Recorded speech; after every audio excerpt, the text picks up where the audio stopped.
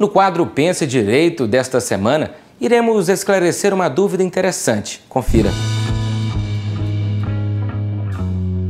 Se cair um objeto de um prédio em cima de um veículo, de quem é o responsável? O dono do imóvel, o dono do veículo que estacionou no lugar impróprio ou da imobiliária que não tomou as devidas precauções de segurança? Obrigado a você que está nos acompanhando aí na nossa coluna Pense Direito. É, não, é, não é muito bem assim que funciona. Essa questão de objetos lançados ou caídos de determinados prédios, né, ou condomínios, é um instituto no que o código chama de defenestramento, né, foi defenestrado, atirado pela janela, é, faz parte do rol das responsabilidades extracontratuais. O que, que é isso?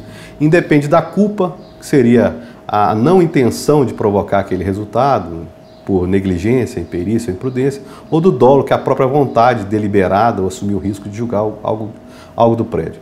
Aqueles objetos que caem do prédio e causam danos né, à propriedade ou, ou a outras pessoas, né, eles devem e têm que ser indenizados, independentemente de qualquer placa que diga que não há, que não há possibilidade de indenização, perdão, de, de convenção de condomínio que também diga é, que, não, que os condôminos acordem em não, não ter esse tipo de indenização, essa, essas disposições não valem porque ferem uma norma de direito privado que está no Código Civil, que é essa responsabilidade extrapatrimonial, que, extracontratual, que é a de, não, de indenizar por ato ilícito, né, por qualquer dano que coloque. Agora, de quem que é essa responsabilidade?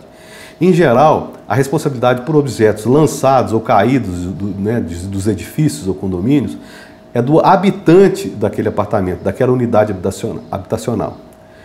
E, mas também o direito acontece casos em que não se pode identificar quem eventualmente lançou, de onde caiu aquele objeto. Nessa hipótese, que é a mais comum, né, quando você chega e encontra ali o dano feito no seu automóvel, na sua vidraça, na casa vizinha, em algum, em algum bem, ou, a, ou mesmo que atinja você, a responsabilidade aí ela é dirigida ao condomínio. Né? O condomínio pode responder pela responsabilidade civil e indenizar aqueles danos causados por objetos que foram lançados. Já a responsabilidade do construtor esse aí vai responder se, se houver ruína, se houver alguma queda de alguma parte da fachada, de massa do, do, do prédio. Quer dizer, o que, o que descola do prédio e cai é o próprio construtor quem vai responder.